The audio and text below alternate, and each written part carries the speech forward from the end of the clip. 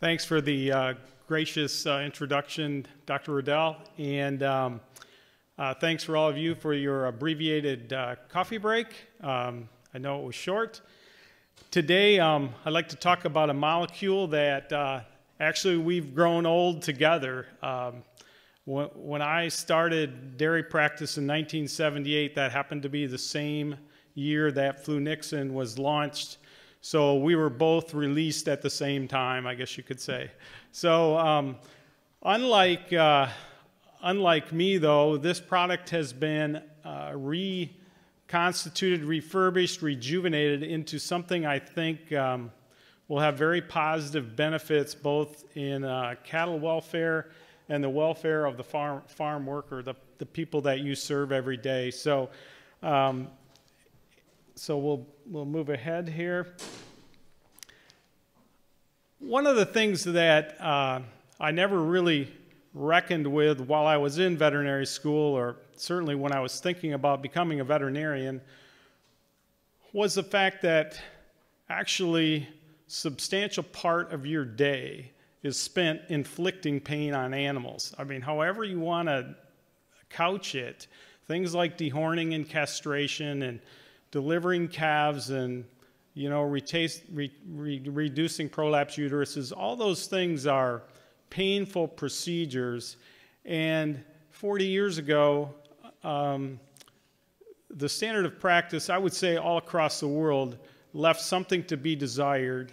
And I really uh, applaud the veterinary profession for kind of leading from behind 40 years ago to actually taking leadership role in, in animal welfare. And I also want to, anybody that's still reticent about animal welfare, I think one of the things you should consider is that it's nothing new and it shouldn't be political or anything like that.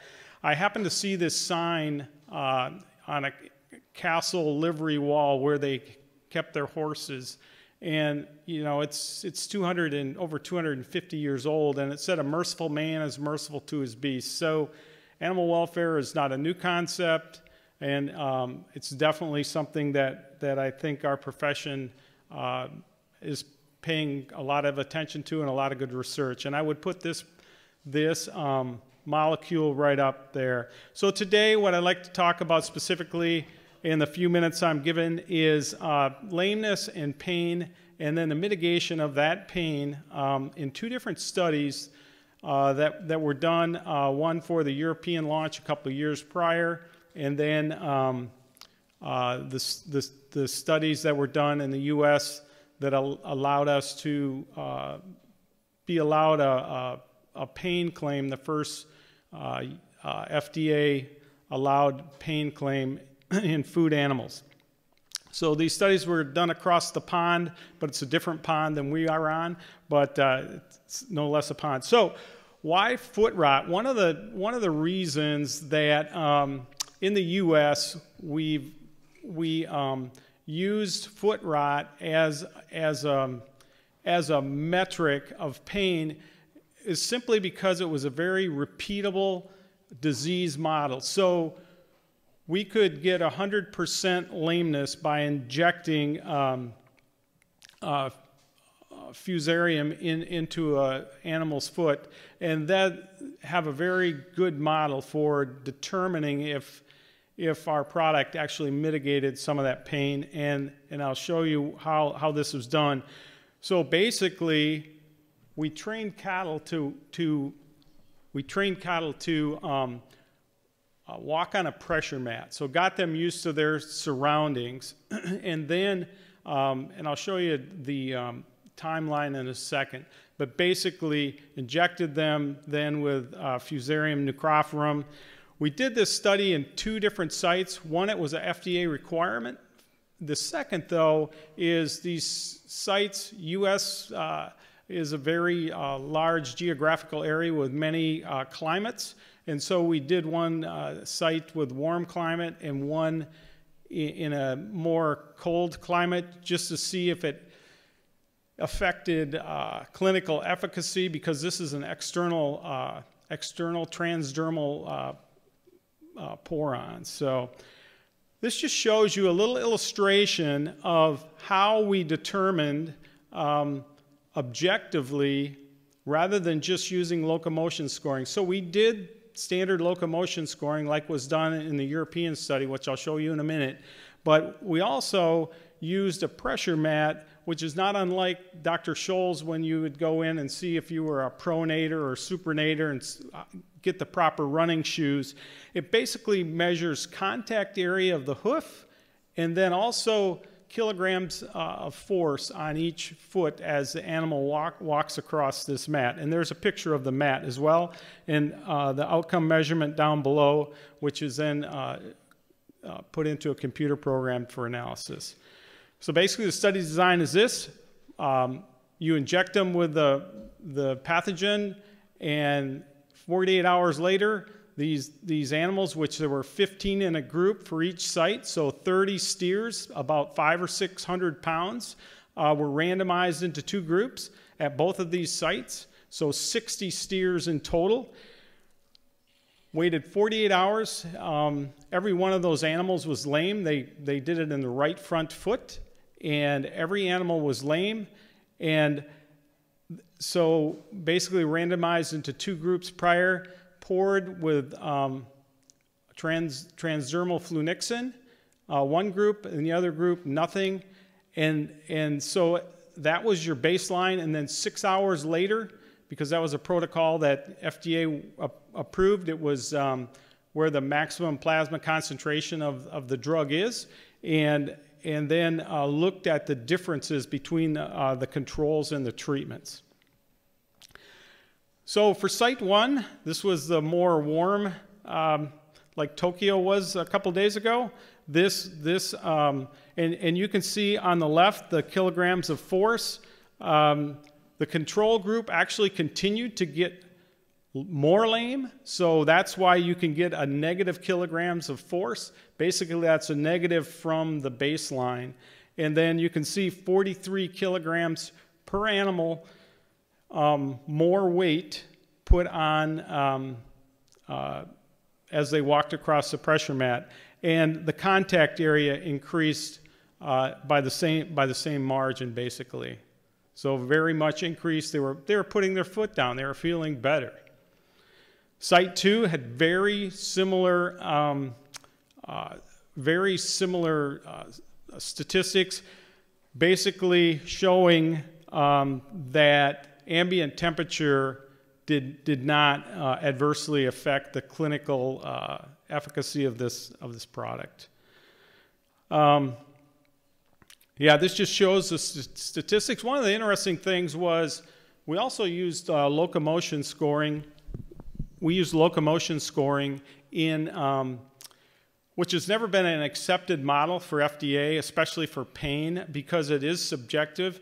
And there was a, a bigger variation in, uh, although there was a, still a huge statistical difference between treatments and controls, there was quite um, a bit of difference between the two sites as, because there were two different scores um, than there was with the objective pressure mat, where you saw almost exactly the same results. So I, I thought that was interesting and maybe buttress the fact that FDA requires an objective measurement, and this pressure mat seemed to fill the bill.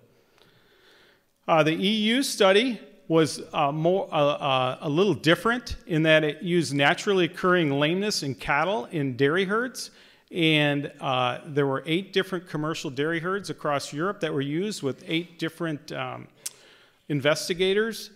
Uh, 72 animals total, I believe, in, the, in that study. And basically, they did use the locomotion scoring, the, the Sprecher locomotion scoring. They also used a lesion scoring system, which um, basically looked at both the size of the lesion and the amount of swelling uh, in an animal. They disallowed any animal that had more than one leg lameness. It, it only could be one, one leg. And, and basically, it was uh, in, the, in the EU, there's a huge difference too in that any animal that was diagnosed lame had to have, uh, for their animal use uh, in care committees, had to have uh, an antibiotic given at the same time. So basically, your control group was an antibiotic called Cobactan, and your treatment group was uh, transdermal flunixin and Cobactan.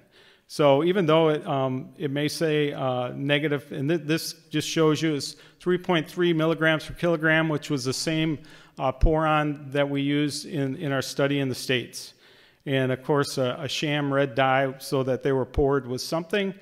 And um, uh, so by the time, I think by the time the, they got the results, there were uh, 65 uh, animals that were, that were scored in this study. And you can see the timeline below, but basically the, the treatment was initial treatment with Cobactan and Banamine, and then they were measured six hours, 24, 48, and 72 hours later. And, and, the, um, and the Cobactan was given daily, but only one dose of transdermal flunixin. this, is, this graph is a little uh, busy. Maybe I can help with a little bit here, if I can find the Basically, what you're looking at is severity of lameness. So this um, this shows you at day zero where uh, you have a lot of um, uh, very lame animals, and the the ones that had so the Cobactan group by itself, which below it says over there it says negative control, but really it's not a it's not a classical negative control because it is Cobactan. And obviously, as you know, many of the, they characterize the feet lesions as abscesses, interdigital dermatitis, foot rot.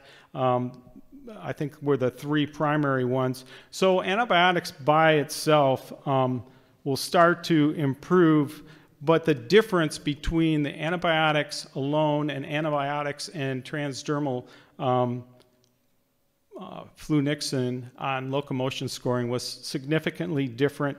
And it was significant also at 24 hours. And then at 48 and 72 hours, they started to, they were still numerically different, but they started to come together because now you had three days of antibiotics and you, you, you weren't technically reducing the pain, but once you get rid of a disease, the pain goes away. So it's, uh, it makes sense to me.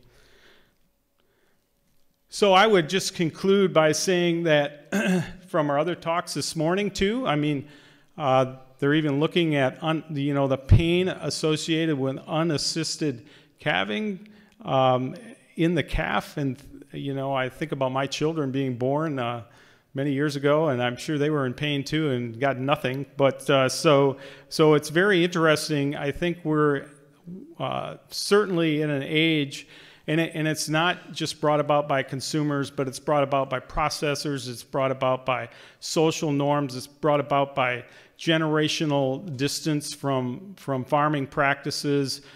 Um, I think we have to be prepared to, uh, to actually justify what we do and to mitigate the pain where we can.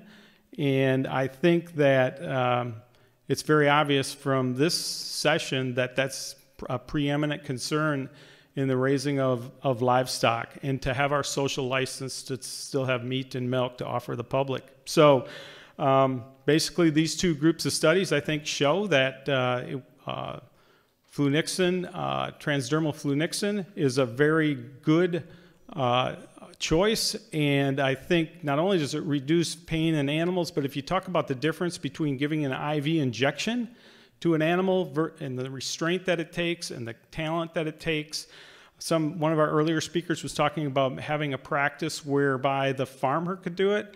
Um, under a prescription of a veterinarian, it's very easy to pour something down uh, an animal's back and get the same results and just as quickly too. The absorption is very fast. So with that, I want to thank you for your attention and um, certainly would entertain any questions. Thank you very much. Thank you very much.